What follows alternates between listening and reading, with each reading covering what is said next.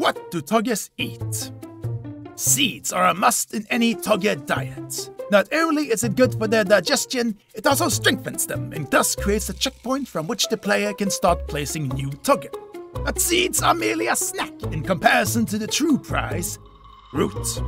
When a Togge is allowed to eat a juicy square meal, they transform into star Togges, once more serving as a checkpoint for the player, but this time the checkpoint will remain should the player close the game.